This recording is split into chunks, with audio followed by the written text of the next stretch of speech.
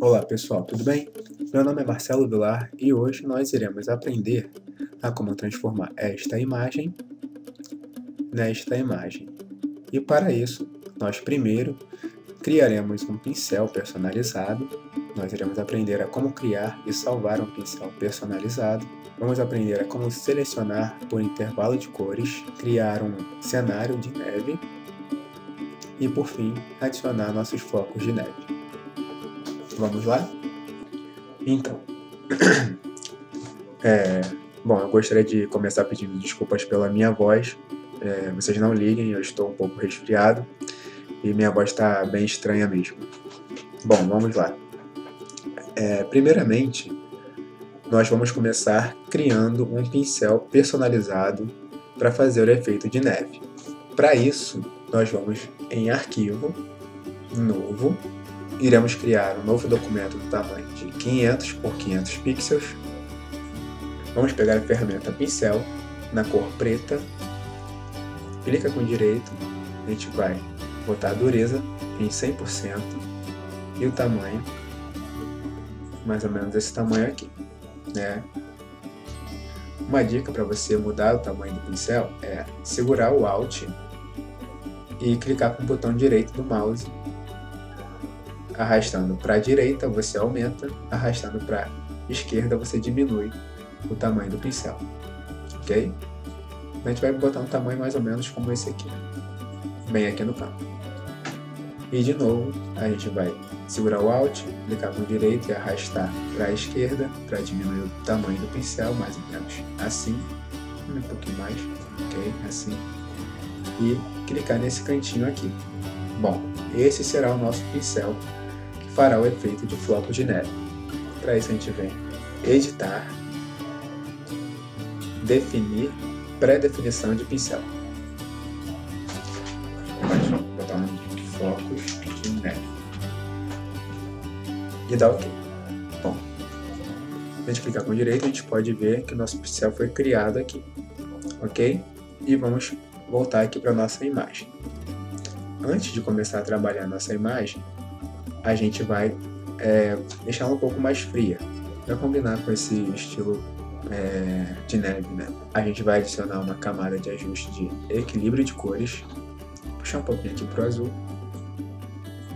nada muito exagerado, só um pouquinho mesmo. Ok. Vai vir aqui matiz e saturação e tirar um pouquinho a saturação também. De novo, nada muito exagerado, só um toquinho ok? Bom, agora a gente começa a etapa 1. A etapa 1 seria. Agora a gente vai para a segunda etapa, que é transformar o cenário. Transformar o cenário para deixar ele com. Transformar o cenário para deixá-lo num aspecto como já se tivesse nevado lá e tem neve pelo chão e nas árvores, ok? Deixar um cenário mais condizente com a imagem que a gente quer. Para isso a gente vai adicionar uma camada nova. A gente pode nomeá-lo para cenário feito aqui, a gente dá OK. É, nomeou, dá OK. A gente vem aqui, ó, selecionar. Opção selecionar. Vai escolher essa opção intervalo de cores.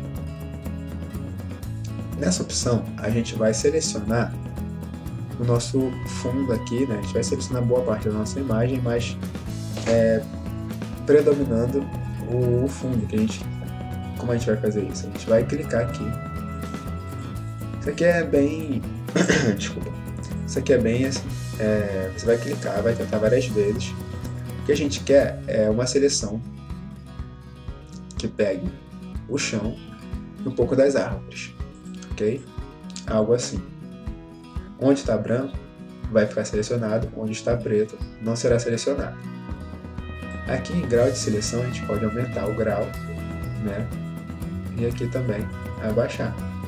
Quanto mais preto, menos coisa selecionada. Quanto mais branco, mais coisa selecionada. Ok? Vou deixar mais ou menos, menos assim. E vou dar OK. E vai criar essa seleção aqui toda doida em toda a nossa imagem. Mas é assim mesmo. A gente vai pegar um pincel, um pincel comum. Vai ser esse primeiro mesmo aqui. Vai escolher cor branca. Dá OK. Nesse primeiro momento, a gente vai abaixar um pouquinho a nossa opacidade para passar aqui nas árvores. Um pouquinho.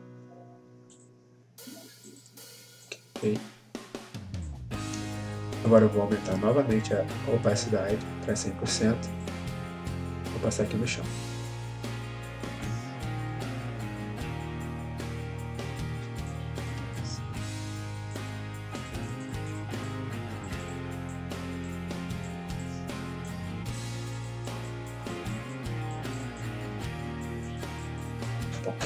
Feito isso, eu dou Ctrl D para desfazer a seleção.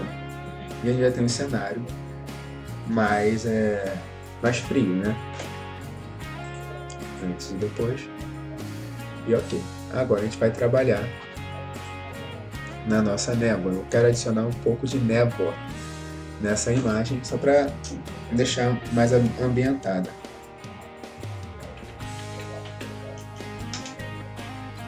Com esse mesmo pincel que a gente pintou aqui, eu vou só aumentar um pouco ele, diminuir a opacidade, o fluxo, mais ou menos a opacidade 20%, o fluxo mais ou menos 30%. Eu vou dar alguns cliques só para adicionar uma, se tivesse uma névoa mesmo aqui assim. Entendeu? Ok? Aqui a opacidade, ficou muito forte. Ok. Então agora a gente vai definitivamente criar os nossos flocos de neve. Eu vou adicionar três camadas, camada 1, camada 2, camada 3, para criar três camadas de floco de neve para poder dar uma profundidade na nossa imagem. Primeira camada será botadinho de neve, neve 2, neve 3. Ok? Essa primeira camada de neve, a gente vai clicar com direito, selecionar lá aquele pincel que a gente tinha criado no começo. Bom, o pincel que a gente criou, vou voltar a opacidade aqui 100%, 100%, ele está assim no momento, né? Só que a gente vai modificar esse pincel para que ele fique com mais um aspecto maior de neve, ok? De flocos de neve. Então, Ctrl Z para a gente fazer isso. Vou vir em janela, pincel, para abrir essa caixa aqui para mim, essa janela. Nessa primeira opção aqui, forma de ponta de pincel, eu vou aumentar só um pouquinho o espaçamento. Ou menos assim. Depois vou para essa segunda opção, dinâmica de forma, tremulação do tamanho. Vou aumentar também aqui assim, 90%, 95%. Essa terceira opção aqui, tremulação de ângulo, também a gente vai aumentar, que vai fazer com que o nosso pincel se misture. E aqui já está legal. Vamos para essa terceira opção aqui, dispersão. Vamos clicar nessa caixa, ambos os eixos, e aqui nesse slide a gente vai aumentar também para dar esse efeito de dispersão dos flocos de neve. E a última opção que a gente vai mexer vai ser em transferência. Aqui na tremulação de opacidade, se o slide estiver em zero, a gente vai aumentar aqui para uns 70 a 80%. Ok? Bom, está criado o nosso pincel de neve e ele ficou assim. Ainda está longe de estar tá real, né? Mas a gente vai é, adicionar alguns outros efeitos também para deixá-lo mais coerente, mais real. Feito isso, a gente vai na nossa primeira camada de neve, essa neve 1, vai diminuir o tamanho do pincel. A gente vai diminuir um pouquinho mais, também pequenininho. Que essa neve que eu estou colocando aqui vai ser a neve que vai ficar bem lá atrás. Vai estar tá caindo bem lá atrás no nosso, na nossa imagem, ok?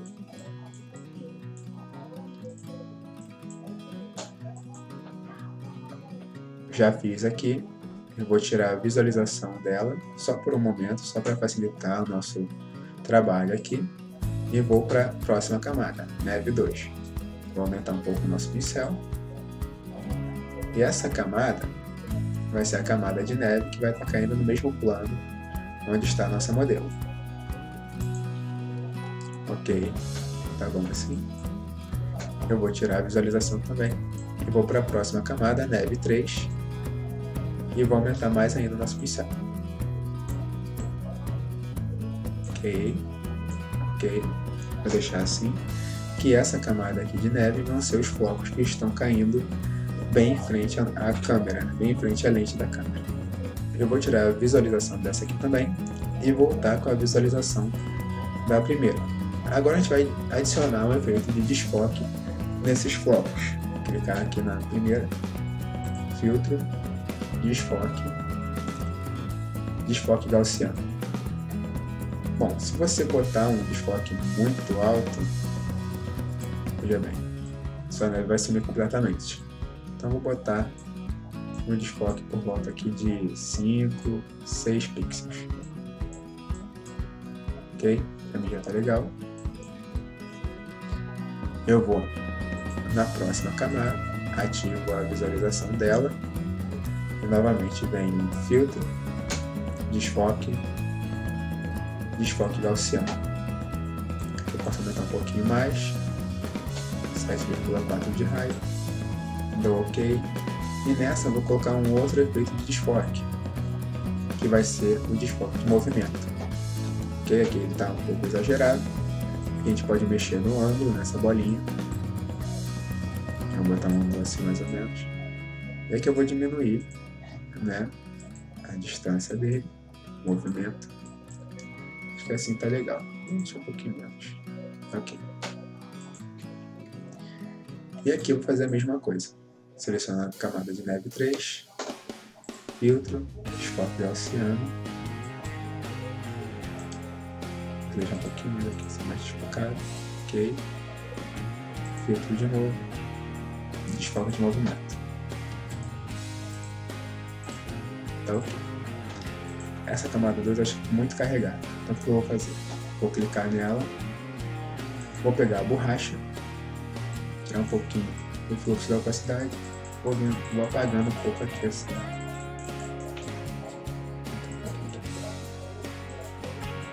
Mas eu não quero. Um pouco legal.